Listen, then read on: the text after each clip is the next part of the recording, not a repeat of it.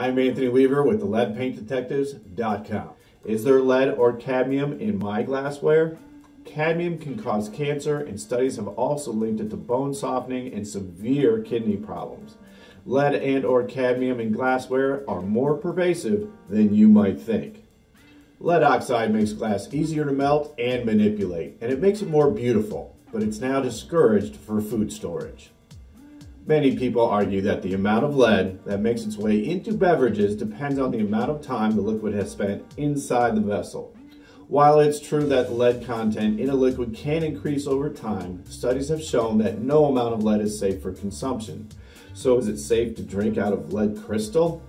Probably not. It's not just old leaded glass, old china teacups, and coffee cups, but it's also printed glasses and funware associated with giveaways at fast food restaurants. Funware has characters on the side of them like Winnie the Pooh, Coca-Cola, Star Wars, and Shrek. Last year, McDonald's recalled 12 million Shrek-themed glasses because the painted designs contained cadmium, researchers found. Dr. Andrew Turner of the University of Plymouth, UK, along with his researchers, analyzed 72 new and secondhand decorated drinking glasses, including tumblers, beer and wine glasses, and jars. Quote, the presence of hazardous elements in both the paint and the glaze of decorated glassware has obvious implications for both human health and the environment.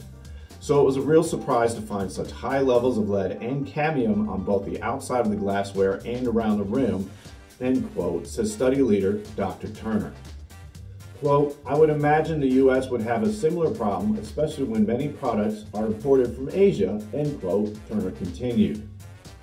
The presence of heavy metals within the range of sensitive detection devices isn't necessarily dangerous, but Turner found some rims with lead concentrations more than a thousand times the safe limits.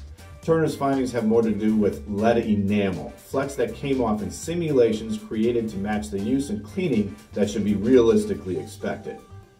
The U.S. Office of Environmental Health and Hazard Assessment considers concentrations of lead above 200 parts per million ppm in the lip area to be unsafe, while cadmium is safe up to 800 ppm. In the Science of Total Environment, Turner reports his findings as high as 400,000 ppm for lead, meaning the glass's rim was 40% lead, while the highest cadmium concentration was 70,000 ppm. Weak acids such as vinegar or Coca-Cola easily strip the metals, releasing them for consumption. Quote, why are harmful or restricted elements still being employed so commonly to decorate contemporary glassware manufactured in China, the European Union, and elsewhere? End quote, Turner said. Quote, Consumers should be made aware of this. While retailers in the glass industry have the responsibility to eliminate toxic metals from their decorative products, end quote, Turner added. What are safe alternatives to leaded glass? There are plenty of glassware collections that are designed to mimic the classic style of lead crystals without any hazardous materials included. What do you do with the fun printed glassware? Place it out for show, but don't use them or simply throw them away save you and your child from cadmium and lead poisoning.